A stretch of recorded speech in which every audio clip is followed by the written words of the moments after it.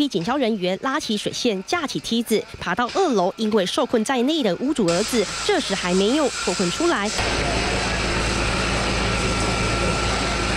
整间两层楼透天厝都已烧得焦黑，屋子里的家具全都面目全非。因为这里是做鞋的家庭工厂，因此火势烧得非常迅速。这起火灾意外发生在十五号下午，因为全台大停电，靠着家庭加工做鞋子的母子只好点蜡烛来维持照明，但没想到蜡烛突然倒下，疑似引燃一旁的鞋垫粘着剂，导致火势快速蔓延。在一楼的林姓妇人只好自行逃离，但在二楼行动不便的儿子却受。困在浴室中，不幸身亡。